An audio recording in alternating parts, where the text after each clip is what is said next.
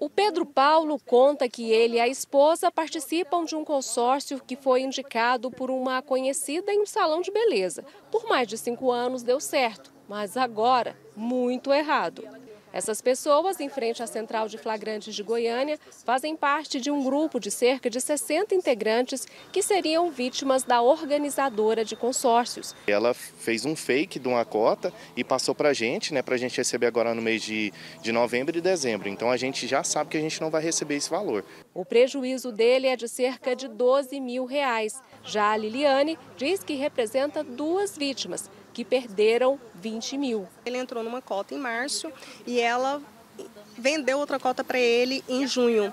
Então, ele iria receber agora em, em, outubro e ele não acabou recebendo.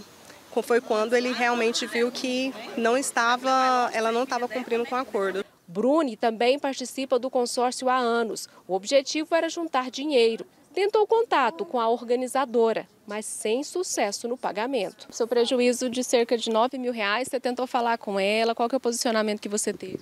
Na verdade, eu tentei falar com ela várias vezes, ela sempre passando para a gente que iria acertar, que estava resolvendo.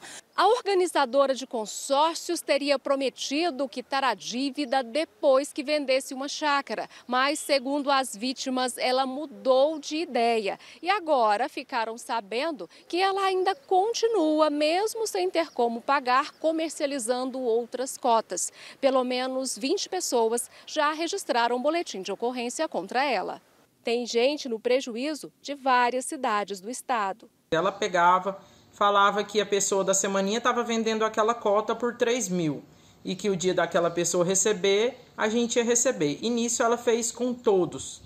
Então, só nessas cotas mesmo, eu só eu investi uns 13 mil reais. A gente vai fazer um boletim de ocorrência né, contra a pessoa, a gente também vai entrar com processo, porque a gente não pode ficar no prejuízo. Né? Se for totalizar o prejuízo dessas 60 pessoas, vai mais de meio milhão. A advogada de duas das vítimas alerta as pessoas para não participarem de consórcios sem respaldo de empresas confiáveis. Não oriento realmente não entrar, procurar assim, empresa especializada mesmo, ou o próprio banco, quiser fazer uma reserva, você mesmo pode fazer uma reserva. Porque esse tipo de consórcio é para você juntar o dinheiro, mas acaba considerando você levando para outro lado que a pessoa não te paga, como aconteceu nesse caso.